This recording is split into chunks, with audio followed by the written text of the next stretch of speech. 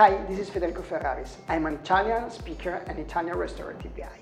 So I'm very pleased to announce that uh, in uh, next September I will be present uh, as a speaker at 11th International Sofia Dental Meeting.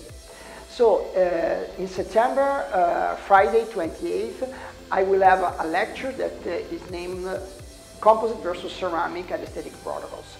I will share different protocols in order to achieve a good outcome in a functional and aesthetic point of view with different materials and different techniques. So we will talk uh, from composite, usually direct composite, something like a fourth class partial restoration or a full buccal veneer in composite, and uh, we will talk also about the indirect ceramic and we will talk about the opportunity to have a very minimal approach or more classical approach in different indications.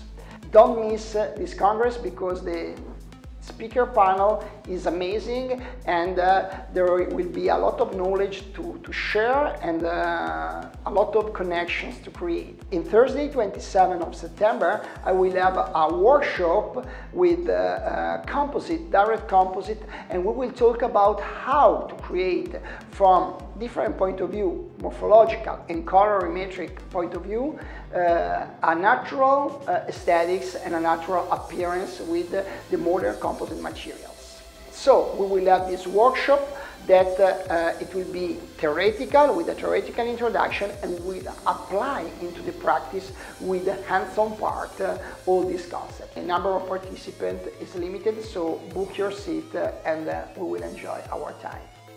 See you in Sofia. Ciao ciao.